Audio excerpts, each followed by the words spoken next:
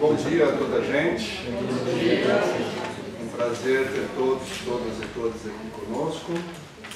Agora passamos então à conferência de abertura do, deste evento. Com muito gosto, apresento Silvia Rodrigues Maeso, que é doutora em Sociologia Política pela Universidade do País Vasco, investigadora principal do Centro de Estudos Sociais e vice-coordenadora da linha temática Democracia, Justiça e Direitos Humanos.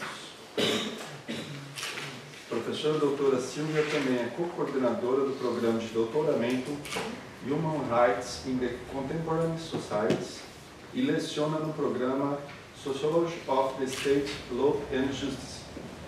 Foi coordenadora do projeto Politics, a política do antirracismo na Europa e na América Latina, produção de conhecimento, decisão política e lutas coletivas.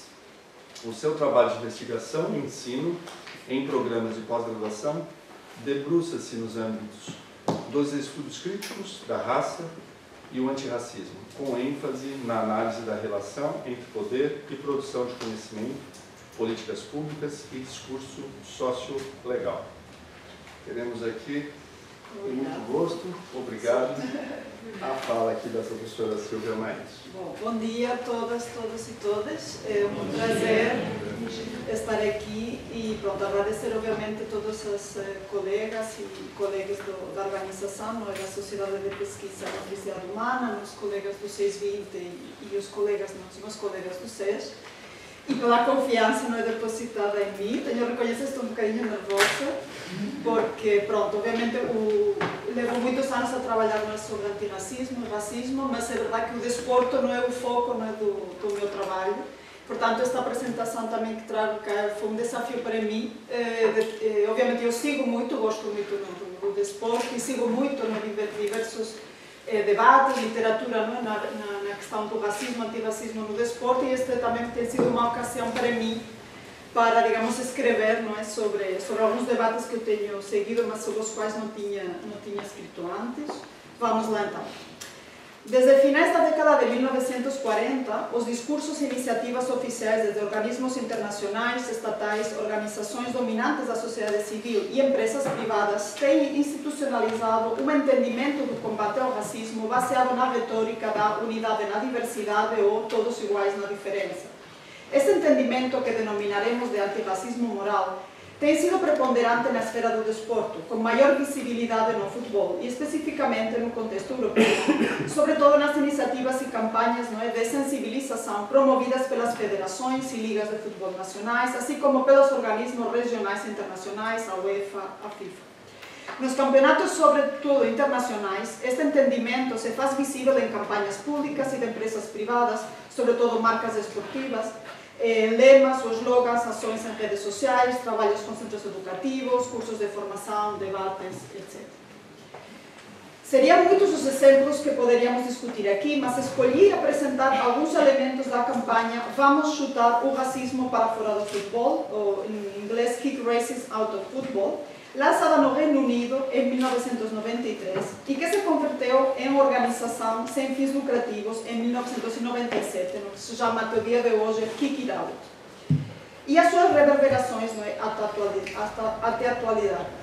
Mais especificamente, quero focar na campanha lançada no ano 96, no âmbito da organização em Inglaterra do Campeonato da Europa, e que foi apoiada pelas associações de futbolistas e técnicos do Reino Unido, assim como pela Liga Inglesa e a empresa Nike.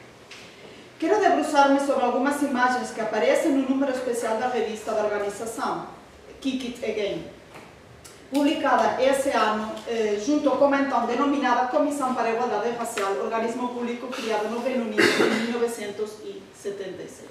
Portanto, aqui vem esta é uma imagem mais da campanha nos anos 90, e esta já é uma atualização, não é 2020, da, da, da Associação Digital.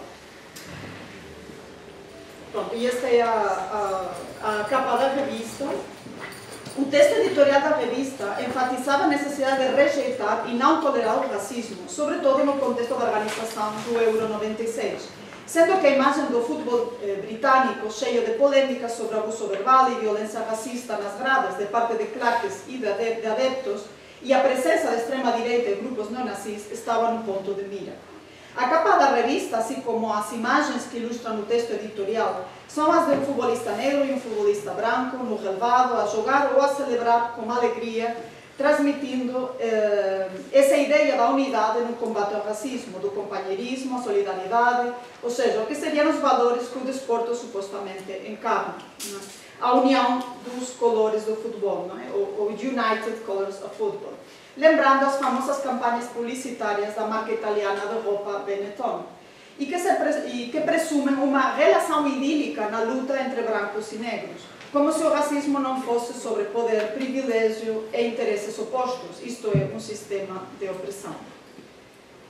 E que nos faz lembrar também a famosa campanha de apoio a Dani Alves em 2014 e lançada por Neymar, ou Neymar, eh, já na era das redes sociais e os hashtags publicando uma foto ao lado do seu filho e os, e os dois assegurando uma banana. Somos todos macacos. E daí, escreveu Neymar, também algo de racismo nos campos de futebol espanhóis. Uma campanha criada pela agência Loduca, do empresário Celso Loduca, que viralizou rapidamente, criando adesão global nas redes. A então presidenta do Brasil, Dilma Rousseff, deu seu apoio também à campanha, escrevendo no Twitter, aspas, temos todos a mesma origem e nada nos difere. Porém, militantes do movimento negro, como Douglas Belchior, da Uniafro, eh, considerou que a campanha tentou, abro aspas, esconder as desigualdades raciais, a violência, o extermínio e reforça a ideia de que o Brasil se vive uma democracia racial, fecho aspas. E segundo Belchior, esta campanha estava a mudar o foco de uma discussão pública que estava a acontecer no Brasil relacionada com o assassinato de Douglas Rafael da Silva Pereira, morto na favela Pavão Pavãozinho, em Copacabana, Rio de Janeiro. Em palavras de Belchior, abro aspas, para uma campanha que propõe o apaciguamento dos problemas, fecho aspas. Luísa Barros, então ministra da Secretaria de Políticas de Promoção da Igualdade Racial, a CEPIR, criticou a também a superficialidade da campanha, acentuando que acentuava não, o entendimento dominante sobre o racismo, abro aspas, dizia Luísa Barros. O que existe é uma tendência de considerar o racismo como um fenômeno superficial na sociedade brasileira ou em qualquer outro lugar do mundo. Algo que se manifesta como um dado isolado, como uma expressão de indivíduos que praticam atos racistas. Este entendimento indicado por Luísa Barros tem sido promovido, como já indiquei no início, desde a segunda metade dos anos 1940 por organismos como a Unesco ou o Conselho da Europa e também é dominante na legislação de combate ao racismo no contexto europeu e latino-americano. Um desenvolvimento que na Europa sucedeu no sentido de aprovar legislação específica de combate à discriminação racial nos anos 2000, ou seja, bem, bem, bem tarde. Se bem já no Reino Unido houve um antecedente em 1965 com a aprovação da Lei das Relações Raciais, o Race Relations Act. As campanhas lançadas tanto por organismos do Estado como por empresas privadas nos anos 90, por exemplo, pela Comissão para as Relações Raciais Britânica, e este é um exemplo, e que procuravam o seu impacto no mundo do desporto, vão ao encontro deste entendimento eh, do racismo como um problema cognitivo e ideológico das pessoas racistas, isto é, o racismo existe nas cabeças das pessoas racistas. O antirracismo é, sobretudo, um programa de desmistificação e reeducação, uma espécie de retorno a uma inocência eh, ideológica perdida. Este, pronto, é um exemplo, mas podem encontrar milhares não, deste tipo de, de, de, formas, digamos, de combate dominante ao, ao racismo. É, de, pronto, que todos nascemos inocentes, de uma maneira, digamos, inocentes, não é? E que, uh, e, bom, que vamos aprender a ser, a ser racistas, mas há, sempre a ideia de reduzir, não é, de reduzir o racismo a uma questão ideológica, não é, de mentes racistas e que é, é reproduzido por indivíduos específicos, não é, que consideramos que são marginais na sociedade. Portanto, estamos sempre a evitar falar da institucionalização do racismo. Outro exemplo são os anúncios e as campanhas da Nike. Na, altura, obviamente, a Nike já mudou bastante eh, as suas campanhas, não é uma questão que podemos debater. Eh, as, as, campanhas da Nike apoiavam não é, esta, esta campanha britânica de vamos chutar o racismo para fora do futebol e que se enquadra nas abordagens não é, do colorblind, colorblind ou promover a ideia não é, da cegueira da raça, eh, de raça e de cor o antirracismo é, na realidade, um antirracialismo, que presume o desporto como um dos espaços onde se deve manter essa inocência racial intacta e reeducar a quem tenha condutas desviantes nos valores da unidade na diversidade e promover a igualdade de oportunidades. Segundo esta, esta abordagem, a raça é confinada ao estatuto de ideia e o racismo é confinado às margens da sociedade, isto é, como sendo exercido exclusivamente por indivíduos e grupos com ideologias extremistas que acreditam e reproduzem essas ideias. Neste contexto, o racismo como sistema de opressão e a raça como tecnologia de poder, isto é, tecnologias de administração, exploração e controle de populações a partir da fronteira entre a europeidade e a europeidade, como analisado, por exemplo, por Bernard Hesse, ou entre o ser negro e não negro, desde o paradigma da antinegritude, eh, como analisado, entre outros, pelo professor João Vargas, não são abordagens consideradas. Assim, o racismo como prática rotineira das instituições também do âmbito do desporto, incluindo a FIFA ou a UEFA no âmbito do futebol, as ligas em cada contexto nacional, é, nas palavras do ex-futebolista do Manchester United e do Manchester City, Andy Cole, varrido para debaixo do tapete. Entrevistado pelo jornalista deportivo da CNN, Darren Lewis, Cole incidiu na ausência de um trabalho institucional efetivo de parte de organismos como a FIFA ou a UEFA em relação ao racismo. Portanto, aqui já vamos à atualidade, a ideia também que trago aqui um pouco de como estas campanhas e estes entendimentos que se vão sedimentando, sobretudo nos anos 80 e 90, estão sempre voltando, reciclando-se, né, reciclando Uh, portanto, Cole incidiu na ausência de um trabalho institucional efetivo de parte de organismos como a FIFA ou a UEFA em relação ao racismo. E, ele, e na sua conversa dizem como nada mudou nos últimos 30 anos. Né? E que se circunscreve muito não, a colocar umas faixas, não é? por exemplo, como os hashtags não é? Say No to Racism, e a fazer não é? comentários, comentários públicos é, é, cada vez que há uma polêmica. Não? Mas no desporto, como em outros âmbitos, vamos sempre de polêmica em polêmica. Não? E parece que estamos a resolver e o ano a seguir vem outra polêmica. Não? Ou o caso, não, o caso 1 bilhão 500 de, de racismo. Não? Vamos como de caso em caso. É, Darwin Lewis e Andy Cole auguram um futuro em que esta mesma conversa, não, eles falam, esta mesma conversa se irá repetir nos próximos 10 ou 20 anos. Parece que estamos sempre a voltas eh, ou a mexer no molho, né? sem resolver, eh, resolver nada. As abordagens críticas de jogadores negros sobre as campanhas e a ausência de transformação institucional real são importantes não só por apontar a sua inefetividade, mas porque nos ajudam a entender o papel central dessas campanhas e as abordagens dominantes que transmitem no controle racial, no controle, neste caso, dos jogadores negros, para privilegiar a branquitude como modo de entender o mundo, e neste caso, de blindar os limites do debate sobre o racismo. Por exemplo, 10 anos atrás, em 2012, os jogadores negros londrinos, o Rio Ferdinand, então no Manchester United, e Jason Roberts, no Reading, protestaram pela inefetividade do trabalho da Kiki Tal, que tínhamos comentado no, no início, depois de 19 anos em ativo, e decidiram boicotar a campanha e não vestir as camisolas do organismo, né? aquelas que estamos aqui, é? a camisola.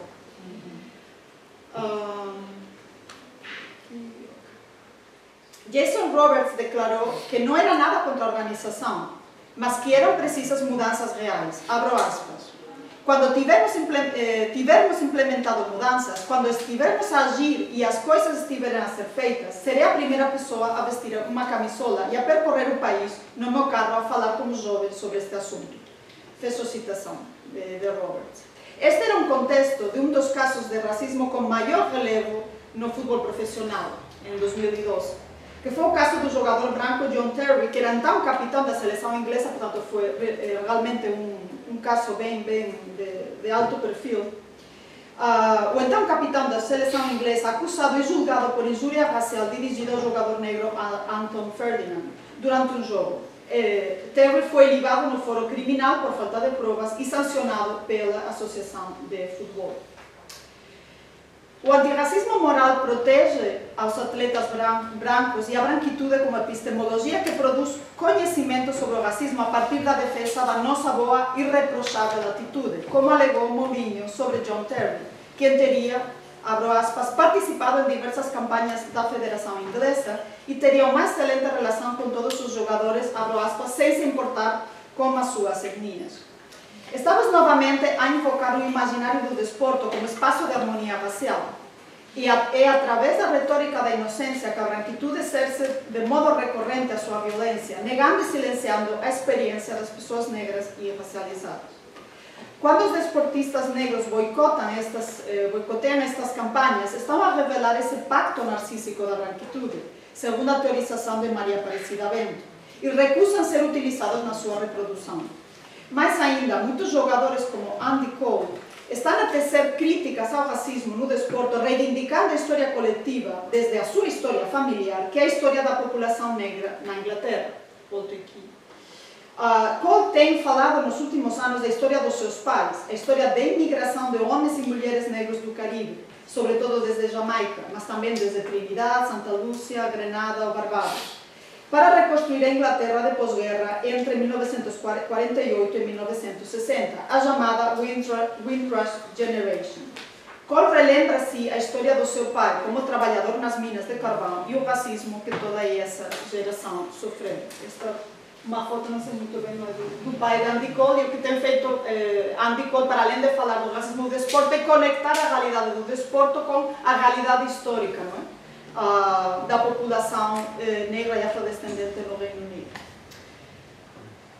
As resistências negras que não se acomodam às regras do jogo do antirracismo moral são alvo de disciplinamento, incluindo a expressão da alegria negra, que tem sido um dos alvos principais do racismo sofrido por Vinícius Júnior, agora é? o caso, eh, novamente, o caso e a polêmica de, dos últimos meses, nos campos de futebol espanhóis, pelos representantes dos organismos de poder eh, no fútbol, como o presidente de La Liga, Javier Tebas, ou o presidente da Associação Espanhola de Empresários de Jogadores, Pedro Bravo.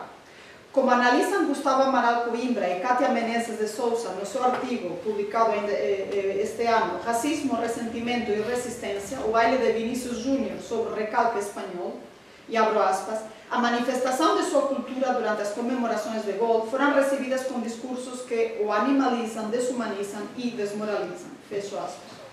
Os autores destacam o comentário de Pedro Bravo no programa televisivo El Chiringuito, em setembro de 2022, dirigido ao jogador Vinícius. Abro aspas. Você tem que respeitar o adversário. Quando você faz um gol, se quer dançar, vai ao sambódromo no Brasil. Aqui o que você tem que fazer é respeitar os companheiros de profissão e deixar de fazer macaquice. Fecho aspas. Proponho analisar a hipervisibilização dada às expressões de alegria de Vinícius como parte das tecnologias de controle racial e disciplinamento da branquitude, herança da escravização racial, e que procuram que eh, nas pessoas negras a subserviência. Eh, a desumanização e humilhação de Vinícius, mais um caso, é, é possível pelos regimes de negação institucionais e o pacto narcísico da branquitude, que se mostra certa, segura, com direito a declarar sua inocência e rejeitar qualquer responsabilidade na reprodução do racismo e na tomada de medidas para o seu combate. Em maio deste ano, no meio de toda esta, esta polêmica, numa roda de imprensa internacional, o jornalista brasileiro do SBT, João Venturi, questionou Javier Tebas, eh, presidente da Liga, sobre a quantidade de pessoas negras que trabalham no escopo da administração da Liga. Bom, se tem estômago, recomendo que vejam, esta, está no YouTube, esta roda de imprensa. Acho que se poderia fazer uma tese de doutoramento só sobre esta roda de imprensa. A resposta de Tebas à pergunta de João Venturi abro aspas, não nos contamos. Me fazes uma pergunta se contássemos os negros, então sim me dirias, és um racista. Mas, eh, fecho aspas. Mas, sobretudo, a sua atitude entre a surpresa e a certeza de que nunca pensou no assunto, que rejeita e reage desde as convicções do antirracialismo. Isto é, eh, o antirracialismo como definido, por exemplo, por David Goldberg, abro aspas, o antirracialismo, que não é a, a que diferencia do antirracismo, abro aspas, procura acabar com a referência racial. É uma política desde o lugar de dominação, desde o poder que procura se agarrar à sua posição ou força social para se expandir. Apresentada isoladamente como a resposta adequada ao racismo, sempre implicou nada mais do que apagar as provas de racismo em vez de abordar as suas estruturas, atos e efeitos. Fecho citação. Ainda que muitos comentários em redes sociais, por exemplo no Diário Espanhol Marca, que seguiu em direto esta roda de imprensa, mostraram a vontade de minimizar o racismo antinegro sofrido por Vinícius, bem sendo equiparado à xenofobia, por exemplo, entre diferentes povos e nações no Estado espanhol, bem sendo enquadrado como um problema de rivalidades entre clubes e do enorme poder econômico e político do Real Madrid e do seu presidente, coisa que não nego, de fato, o contrário. Uh, mas, apesar de todas essas críticas, essas tentativas de minimizar, a força e relevância das denúncias de Vinícius recaem em não se deixar controlar pelo antirracismo moral dos hashtags e, cam campanhas afins. Isto é, não está aí, como eu bem disse, para conversar com as pessoas brancas e para satisfazer a branquitude. Em palavras de Vinícius, não acredito num mundo sem racistas, mas devem converter-se em minoria. Aparentemente simples afirmação contradiz o senso comum sobre o racismo no desporto e suas instituições, né? como um problema, digamos, das massas pobres. O controle e a vigilância dos corpos negros e da alegria negra tem uns contornos históricos e políticos específicos no caso das mulheres negras, e assim se tem mostrado no desporto. Quero abordar na parte final da minha apresentação o racismo contra as mulheres negras e os seus processos de resistência e luta a partir do conceito cunhado por Moya Bailey de misoginoar ou misoginia negra. Bailey cunhou este termo em 2008, se bem o seu livro eh, saiu publicado em 2021, abro aspas, para descrever a misoginia racista antinegra que experimentam as mulheres negras, particularmente na cultura visual e digital dos Estados Unidos. A misoginia negra não é, diz Bailey, simplesmente o racismo que as mulheres negras enfrentam, nem a misoginia que as mulheres negras negociam. Misoginoar descreve a violência especificamente co-constitutiva, racializada e sexista que assola mulheres negras em resultado da sua opressão simultânea e interligada na intersecção da marginalização racial e de gênero. Fechou citação. Bailey analisa eh, no seu livro como a misoginia negra circula nos mídias, aspas, ajudando a manter a supremacia branca e os modos de resistência digital a partir de retratos misóginos negros que, aspas, condicionam os seus meios de vida e saúde. Nomeadamente, Bailey eh, eh, analisa a misoginia negra através de três figuras, não? a Jezebel, a Mami e a Safaya. Estas figuras de análise da Bailey têm contornos semelhantes ao trabalho seminal de Lélia Gonçalves, Racismo e Sexismo na Cultura Brasileira, publicado já em 1984 na revista Ciências Sociais Hoje. Lélia Gonçalves identificou e analisou também três arquetipos que definem o racismo e o sexismo experimentado na sociedade eh, brasileira pelas mulheres negras. A figura da mulata, da doméstica e da mãe preta. As figuras racializadas e heteronormativas de Jezebel e a mulata, junto com a figura da Safaia, reproduzem as representações das mulheres negras como hipersexualizadas, sedutoras, não, disponíveis para o desejo sexual do homem, os homens e inapropriadas, não? falam alto, cheias de raiva, não? a figura também da a mulher negra raivosa, não? ou the angry black woman circula no desporto para vigiar as mulheres negras e controlar o seu distanciamento de, ou mais bem, o seu lugar fora da feminidade apropriada, isto é, da branquidade. O modo como o visual, por exemplo, o cabelo, as unhas e as manifestações de competitividade em redes sociais da atleta norte-americana Sha'Carri Richardson, que é a atual campeã mundial dos 100 metros eh, rasos né, no, no, no último campeonato em Budapeste, têm sido hipervisibilizadas e vigiadas por setores do mídia e usuários nas redes sociais, e também comentários de outros atletas, incluindo Usain Bolt. Essa hipervisibilidade e vigilância são reflexo de um padrão histórico de policiamento das mulheres negras.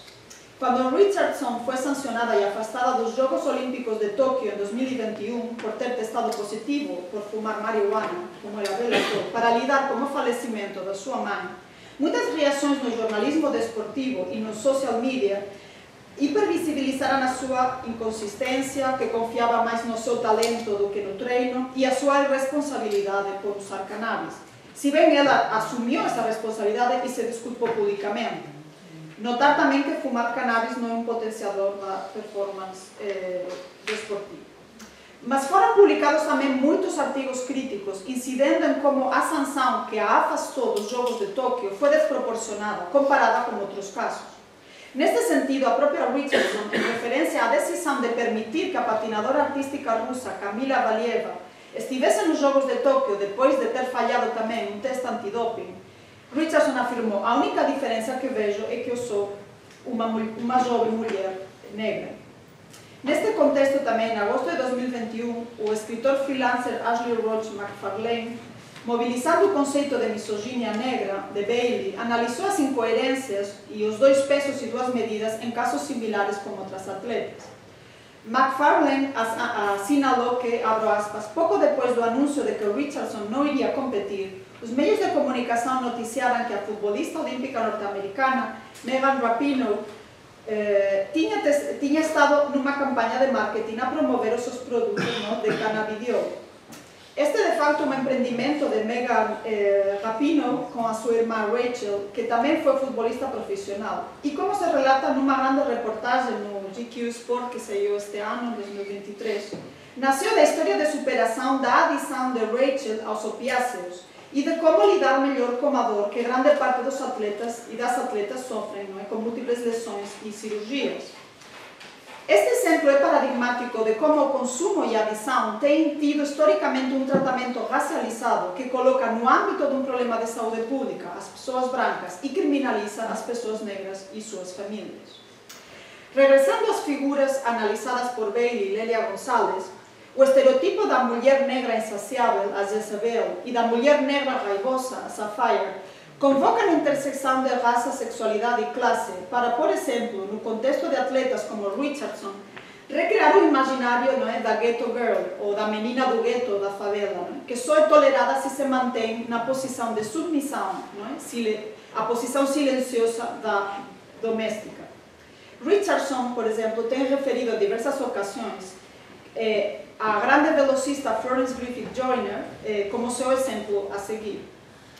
Griffith Joyner, vencedora de três medalhas de ouro nos Jogos Olímpicos de Seul de 1988, foi também na década dos anos 80 hipervisibilizada e hipersexualizada.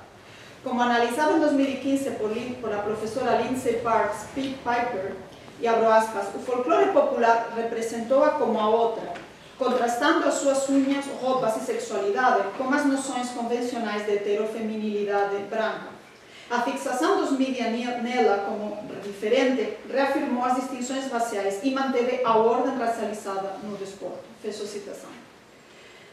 A socióloga Letícia Engrácia Cardoso Brown já analisou na sua tese de mestrado, defendida em 2012 na Universidade de Texas, as representações dos mídias e a figura da atleta feminina negra incidido na, incidi, incidi, ai, desculpa, incidindo na centralidade do commodity racism, nas representações de Florence Griffith Joyner.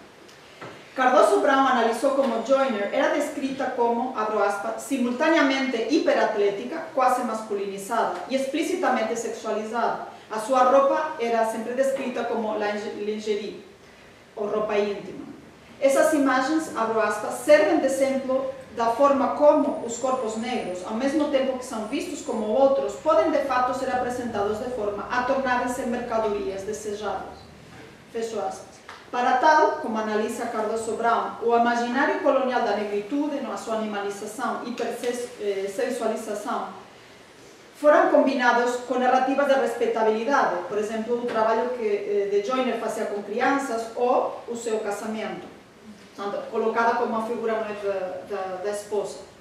Ainda que isto não é destacado por Cardoso Brown, acho que o que, o que se fazia era acercar a Joyner a essa imagem não é, eh, dessexualizada da mãe, da mãe preta analisada por, por Gonçalves, ou da mami. Quero finalizar com uma reflexão sobre o antirracismo moral e o commodity racism, que refere à intersecção de raça, classe e gênero, e mais especificamente ao consumo de histórias pessoais de sucesso. Isto é a história não é, do o ou a deportista que superou o preconceito racial e a pobreza da vida nos guetos ou nas favelas.